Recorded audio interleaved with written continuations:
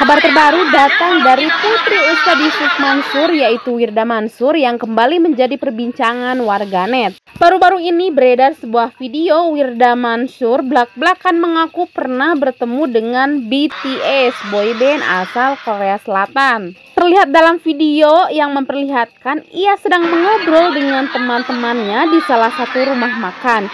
Di sela-sela obrolan santai tersebut, Wirda Mansur dengan lantangnya membahas seputar BTS. Wirda sangat antusias untuk menceritakan bahwa ia pernah bertemu dengan personil BTS. Wirda menyatakan bahwa saat itu ia tak mengenali orang-orang yang dia temui tersebut.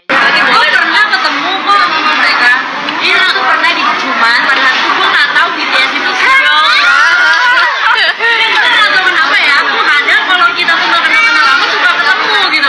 Setelah video singkat tersebut viral, nama Wirda Mansur langsung masuk trending di media sosial khususnya Twitter. Video Wirda Mansur mengaku bertemu dengan personil BTS itu sontak saja bikin warganet geleng-geleng kepala.